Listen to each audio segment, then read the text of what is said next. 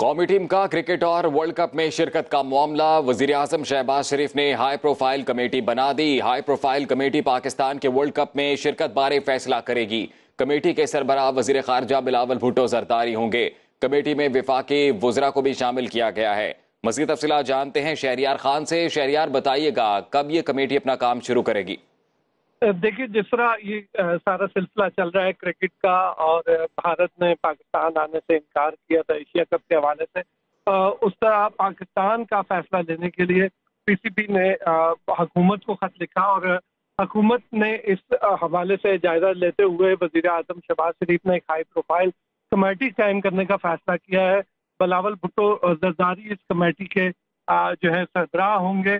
जबकि इस कमेटी में वफाकी वजरा राना सनाउल्ला आज़म नज़ीर तारड़ एहसान रहमान मजारी मरियम औरंगज़ेब, मौलाना असद महमूद अमीन हक कमर जमान कायरा और तारक फातमी शामिल हैं।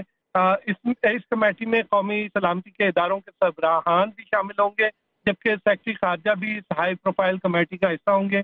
कमेटी भारत में वर्ल्ड कप से मुतल तमाम अहम अमूर पर सिफारिशात मरतब करेगी और इन सिफारिशात की रोशनी में वर्ल्ड कप में शिरकत का फैसला किया जाएगा। हतमी सिफारशात मंजूरी के लिए वजी अजम को भिजवाई जाएँगी और फिर इस हवाले से फैसला किया जाएगा। पाकिस्तान क्रिकेट बोर्ड ने कौमी टीम की वर्ल्ड कप में शिरकत जो है, वो हकूमती इजाज़त से मशरूत रखी है और क्रिकेट वर्ल्ड कप पाँच अक्टूबर से भारत में शुरू होगा और पाक भारत टाकरा पंद्रह अक्टूबर को अहमदाबाद में होना है। जी। जी, बहुत शुक्रिया आपका। शरियार खान, आपने तफसीत से आगाह किया।